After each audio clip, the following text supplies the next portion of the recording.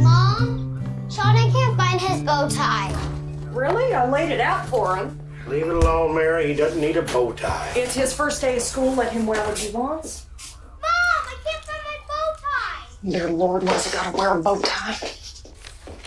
Can I drive in with you? Sure. Everybody's gonna know he's your brother. It's gonna be awful for you. Tell her to shut up. She's not wrong. It's gotta be here. It's not, it's not. Shelly, uh, stay calm. We'll find it. My tie is gone. My tie is gone. Shelly, you don't really need a tie. I have to find my tie. I have to find my tie. Be right back.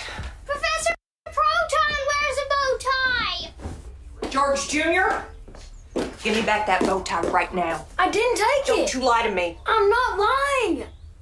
We'll see about that. Stay out of my room. She's gonna find your dirty magazines. Shut up. You are not having a good day.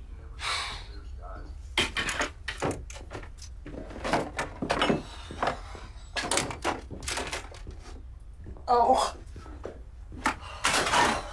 Hey, hey, he didn't take it. then what happened to it? I took it. Why would you do that? Mary, the boy is nine years old and going into high school. Isn't that weird enough? Give it to me. Come on, it's not just Sheldon. Georgie's gonna be in class with him. Give it.